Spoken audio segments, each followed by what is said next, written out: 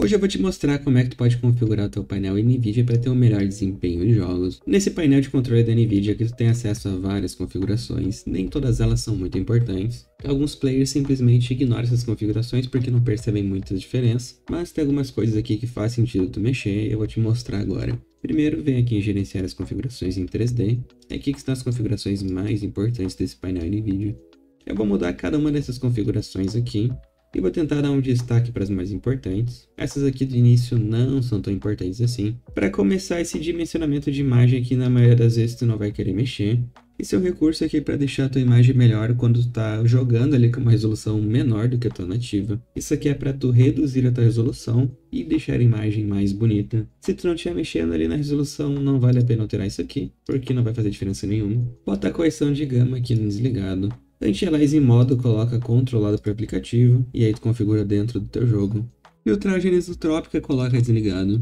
Otimização trilinear desligado. Filtragem de textura qualidade tu muda aqui para alto desempenho.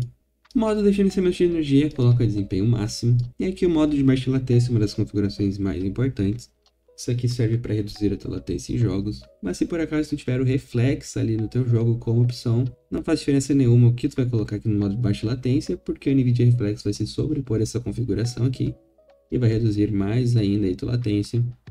Mas se teu jogo não tiver aí o modo NVIDIA Reflex, Tu pode testar aqui o modo de baixa latência do ligado ou no ultra, que com certeza vai melhorar um pouco o teu jogo. Otimização segmentada deixa no alto ou no ligado, isso aqui vai permitir que teus jogos tirem proveito dos vários núcleos aí da tua placa de vídeo, e em quase todos os casos tende a ser melhor. Sincronização vertical, deixa isso aqui desligado. O V5 eu só utilizo assim se eu tiver no computador muito ruim. E para jogos single player, isso aqui serve para sincronizar a tua taxa de quadros aí com a taxa de atualização do teu monitor. O problema é que isso aqui acrescenta muito input lag. Então só faça isso aqui se tu estiver desesperado, tua taxa de quadros for muito baixa. Ou caso tu esteja jogando um jogo single player ali e a imagem esteja toda rasgada e tu não sabe o que está acontecendo, às vezes o V5 pode ajudar. Mas se a tua imagem estiver boa, tu estiver jogando um jogo ali competitivo, ignora essa sincronização vertical. Tamanho do cache do criador de sombras tem que estar em pelo menos 10 GB, senão teus jogos vão travar. Taxa de atualização preferida, coloca a maior disponível. E tecnologia do monitor coloca taxa de atualização fixa. Agora tu aplica. Tem aqui na NVIDIA Physics. Nas configurações de Physics, coloca aqui tua placa de vídeo.